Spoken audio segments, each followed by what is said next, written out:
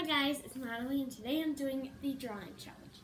I know I'm alone, kind of a bummer, but I mean, let's get started anyways. Let's try to draw a tree.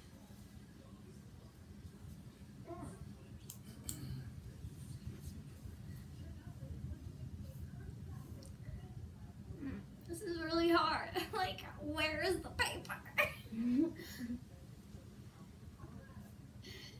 Um, okay. Let's see. Do you see how terrible this is?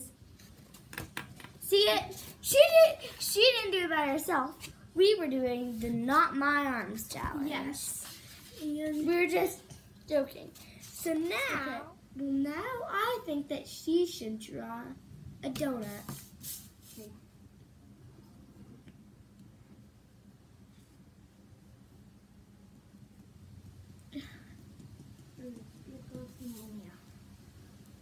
Let's see this. That's a good looking donut.